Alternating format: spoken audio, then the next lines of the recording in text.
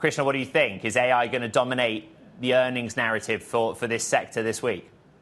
Ed, great to be on. Well, let me start by saying I completely agree with Keith Rabois, which is that I don't care whether it's AI or not. All that matters is are you creating something that's immediately actionable and valuable for customers today? And we believe that uh, there are a lot of opportunities to do that using AI in the hospitality and the restaurant sectors. So, yes, I expect every QSR, frankly, every corporation in the world to be thinking about what are the most immediately actionable opportunities to leverage AI today. How is something so manual complemented by artificial intelligence? Well, it's not necessarily complemented. I think we, it actually ends up being one of the most immediately actionable applications of you know, generative AI in the enterprise because you have labor costs, which are rising. You have a relatively confined problem set in the drive through. And I don't think in three years there's going to be a single drive through having a human take your orders. I think, you know, voice bots, whether that's ours or someone else's, will be pervasive. They will never get tired of delivering perfect service, upselling the customer, and ultimately delivering a lower cost, higher revenue experience to customers. Uh, like many of your industry peers, you have looked to OpenAI and GPT tools to complement the work you're already doing. How does that relationship work? Yeah, well, look, I think uh, LLM technology and, and, generative AI broadly does uh, enable better personalization, faster speed of service, et cetera.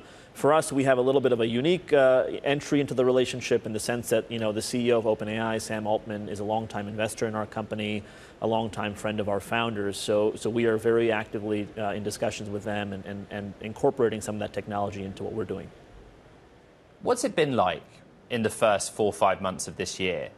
Are there QSR CEOs phoning you every day saying, get in here now and give us some AI capability? Literally, what is demand for you? Yeah, look, I mean, I think we're at a really unique moment in time where uh, the customer's business needs, which is low margins and rising labor costs, are met with the progress on the technology side. And yes, because of how pervasive this term AI is and everything you're reading or seeing or hearing, uh, it no longer feels like science fiction. I would say in 2022, some of what we were doing felt like futuristic.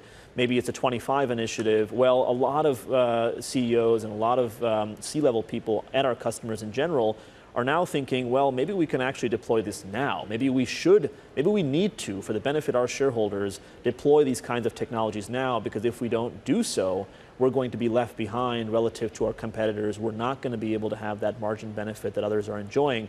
So, yes, the tone of conversations across the board has changed pretty dramatically over the last six months. Does AI displace or eliminate jobs in this industry, Krishna? I believe, well, it's hard for me to opine on this industry specifically, but I do believe that the adoption of AI uh, overall will actually be relatively uh, neutral on jobs. I believe that's the case historically with any large technology revolution is that new jobs come up. And we're already seeing that. You need humans, not necessarily incredibly skilled humans, but you need humans to be able to train the AIs, to help them make sure that speci specific edge cases are not run into. And so at the end of the day, I think there's a lot of opportunity for us to help find new jobs for people. In the restaurant industry specifically, however, you have a unique challenge, which is labor availability. A lot of people still haven't been able to find labor, and we are helping them do that using automation.